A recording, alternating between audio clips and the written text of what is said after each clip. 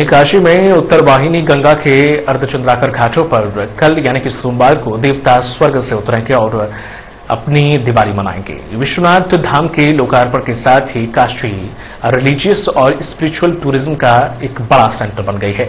बीते सावन के महीने में विश्वनाथ धाम में एक करोड़ से ज़्यादा श्रद्धालुओं ने जलाभिषेक किया और पाँच करोड़ से ज़्यादा का चढ़ावा चढ़ाया गया।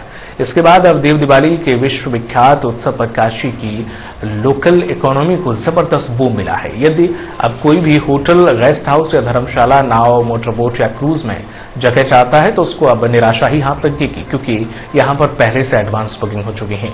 और इस तरह से नाविकों से लेकर टूरिज़्म से जुड़े सभी वर्गों के लोगों में देव दिवाली को लेकर ज़बरदस्त उत्साह है।